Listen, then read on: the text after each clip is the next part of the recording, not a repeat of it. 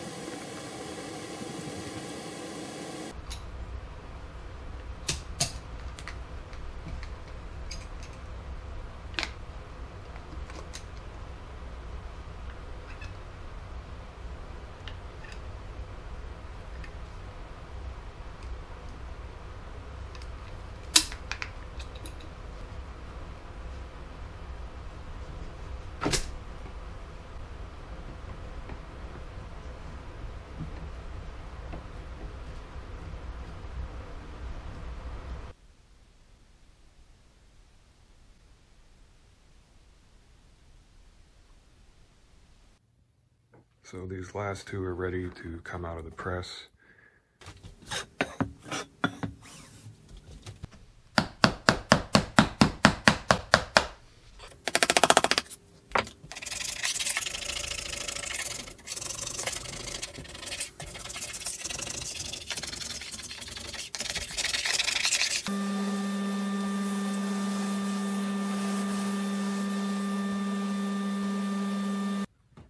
So these are the zinc tops after the glue press and they turned out pretty good.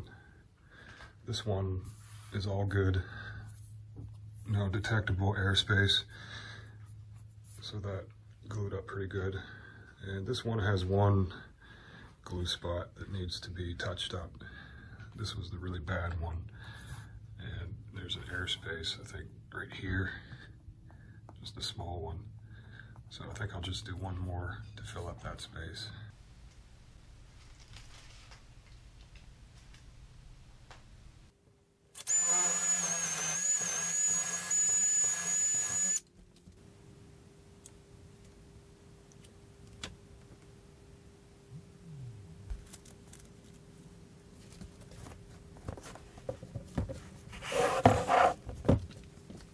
Check out this glue roller that I made recently. I'm going to use it in this application to roll out the glue a little bit to spread it out.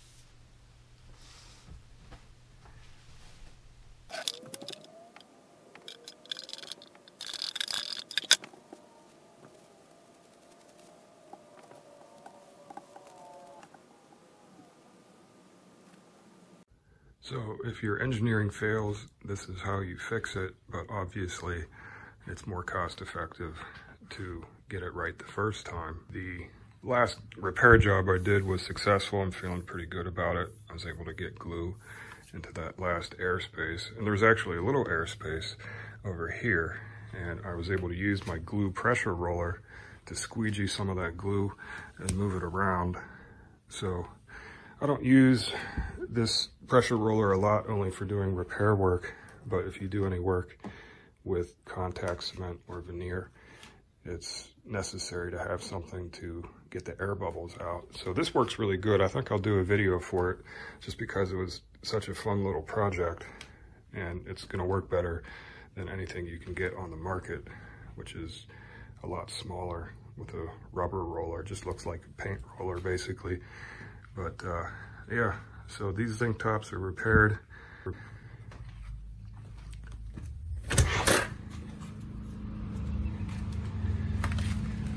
Nice day out today.